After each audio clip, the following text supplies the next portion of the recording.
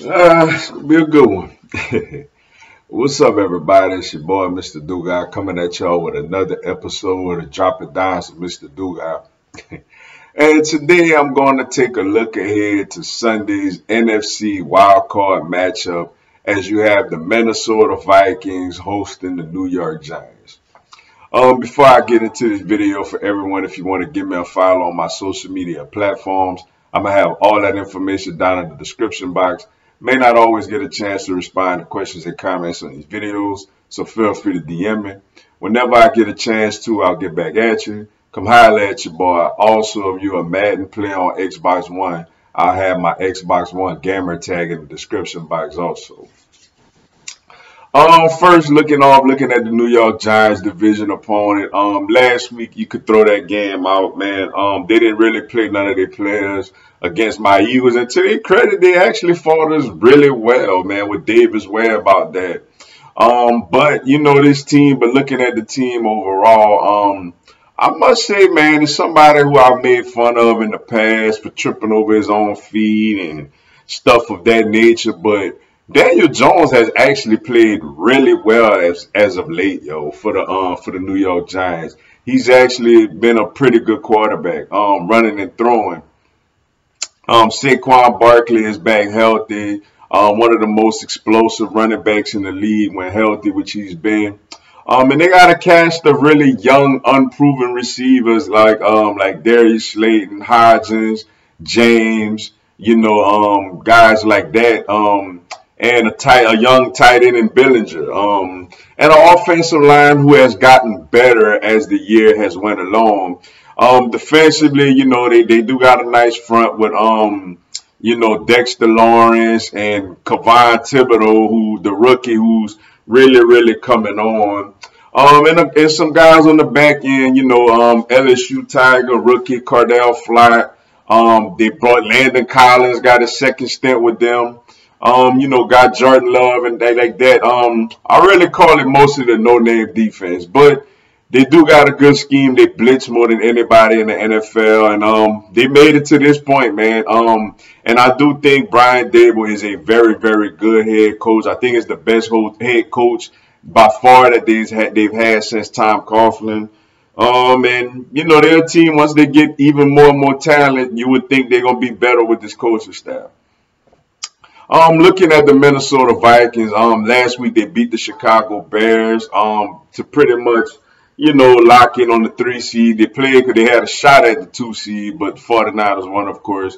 Um, they played, they started for about half of the game or a little more than half of the game. Um, Jefferson did his thing. Um, Osborne Cook um, got banged up, but he was able to come back in.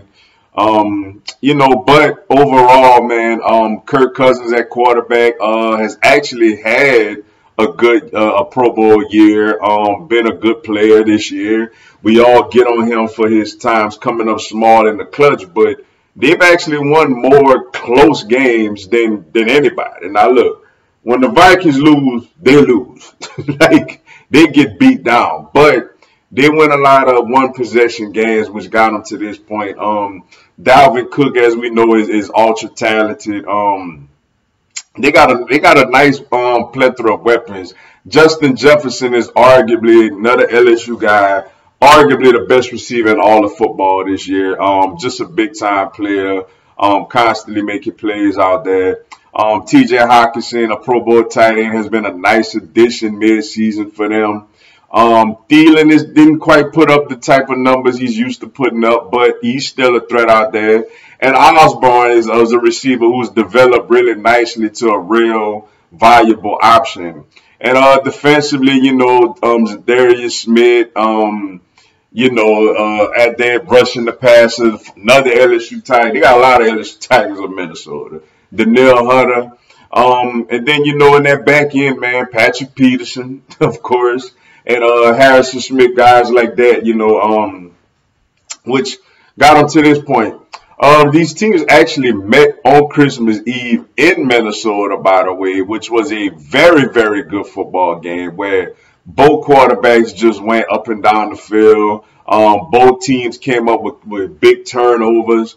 Um, Daniel Jones was was really good. Um, Kirk Cousins Justin Jefferson had a big time performance. Osborne made some plays.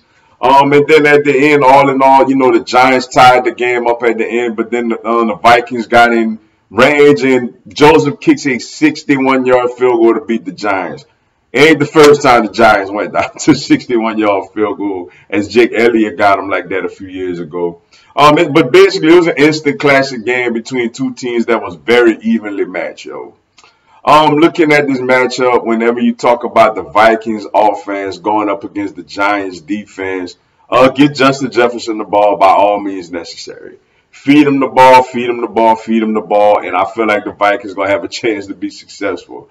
Um, and for the Giants, put pressure on Kirk Cousins. Um, once you get pressure on him early, it kind of sets the tone for him the rest of the day, and he, he don't really play as well.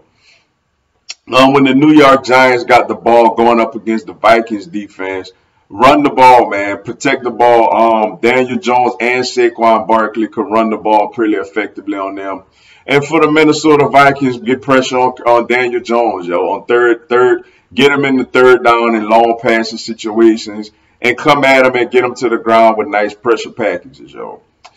Um, as far as my prediction for this game, man, I'm, I'm kind of struggling with. I went back and forth with this one a little bit, but I'm gonna be honest, man. Um, though they're a division opponent, I think the Giants get this one. I think the Giants go to Minnesota, and I think they pull out a really good football game on the road. And I think the Giants gonna come to Philly to see the see my Eagles next week, yo. I think the Giants go to Minnesota and get the upset and come to Philly next weekend. Um, but with that being said, that's all I got for y'all today. Appreciate y'all checking out the video. Hit the like button for your boy. Give me a subscribe. I have Philadelphia Eagles, NFL, and content of my other teams throughout the year. Y'all have a blessed one. Fly, Eagles, fly.